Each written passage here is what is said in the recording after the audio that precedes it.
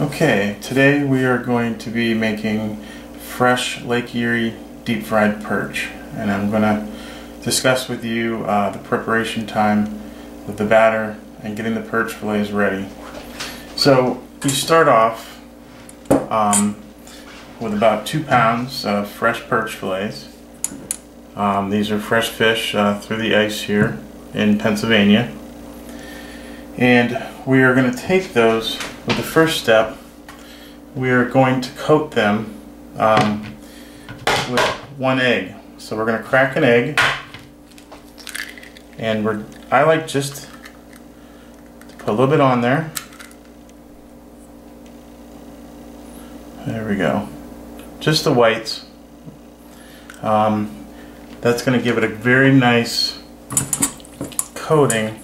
It's going to make the fillets nice and sticky you want something uh, to help your fillets as they stick to that wonderful batter. Okay, so that's the first step. The next step is preparing your batter.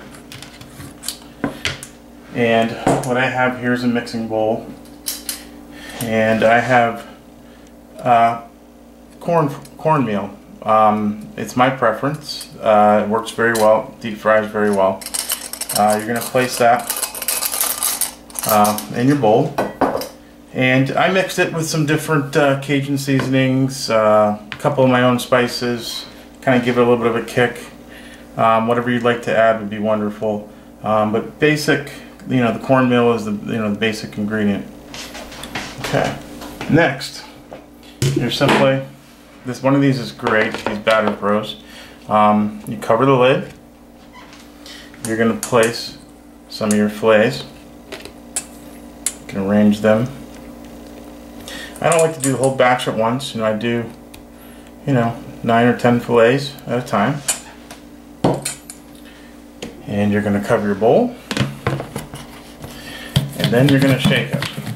Turning it over. Give it a good shake. Turn it over again. Coat them very good. And one more time.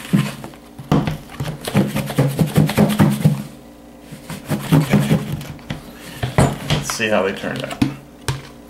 Okay, beautiful. So what you have here is nicely coated perch fillets. You're going to take a nice clean plate and you're going to stack them on your plate. You can see how they're covered very nicely. Using tongs.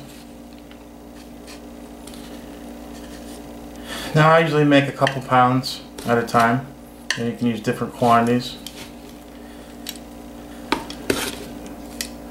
Uh, these are wonderful for perch fries, having your friends over, um, entertaining.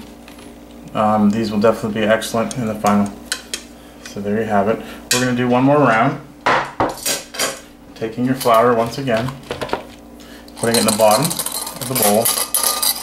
That's your remaining cornmeal flour mix. We have the remaining perch fillets down. Now remember these are nice and coated with the egg whites, so they're nice sticky. Now I use the fillets, I don't leave the skins on. Different anglers will tell, some anglers use skins on their fillets. I like to uh, fillet my fish to take all the skins off. Notice there's no bones in this. This is all um, meat of the fish. Uh, again, that's your choice if you'd like to keep the skins on. And we're going to cover. And we're going to give it a good shake.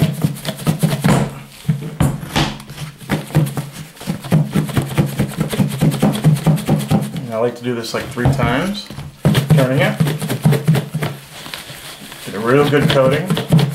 Don't be scared to put some muscle in it.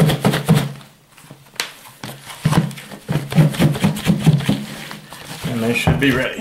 Let's see how they turned out. Okay. Uh, again, um, beautifully coated.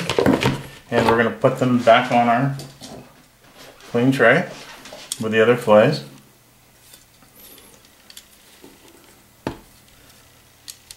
Alright, wonderful.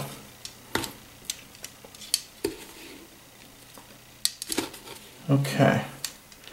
Now once you get uh, all of your fillets on the tray, um, what I like to do is prepare this a few hours ahead of time.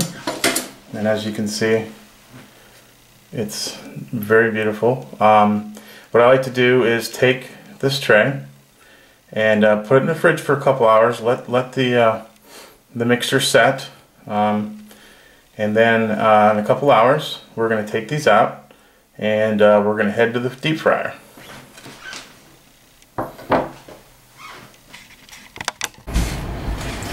Okay, now we're at the frying stage. And the first key is to make sure that your oil is nice and hot. There are several different types of oils you can use. Um, I prefer canola oil.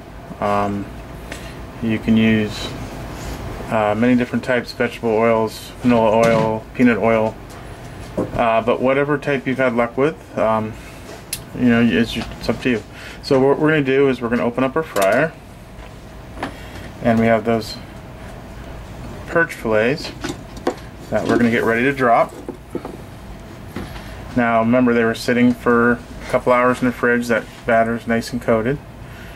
Um, one of the other keys too before you drop um, the fillets is I like to range same size fillets together. You know when you're deep frying um, I don't like to put a very thick large perch fillet in the same batter as a small one because you know they will cook. Um, the small one will be done very soon and the larger one will be done a few minutes later. So uh, keep the lake size fillets together. Uh, you're ready to drop. Um, again, make sure the oil is nice and hot uh, before you do this. You drop your pan, you can tell by the sizzling uh, that batter is going to get nice and crispy. And you do this for roughly uh, 7 to 10 minutes. Uh, keep an eye on them. You don't want to overcook the fillets, but again, you don't want to undercook them either. So let these sit in the oil, let them crisp up, and then uh, we'll see how they turn out. Okay, we're at the final stage, and as you can see, I just opened the fryer. They've been cooking for a few minutes here, and the batter's turned a very nice golden brown. Again, you can play with all different kinds of batters. Um, I have a special recipe. It's a three blend. Um, one part cornmeal, one part corn flour, and then uh, a seasoned white flour with it. And that's with my own special spices. Uh, but these uh, came out very nice. Uh, they look very crispy. And again, you can uh, experiment uh, with your own special batters for your fish. Not only does this work with perch, it also works with other panfish. Um, I do this with crappies and bluegills um, as well. So I hopefully you enjoyed uh, how to deep fry uh, Lake Erie yellow perch. And uh, I hope you'll come back and visit us again uh, with a new and upcoming outdoor adventure.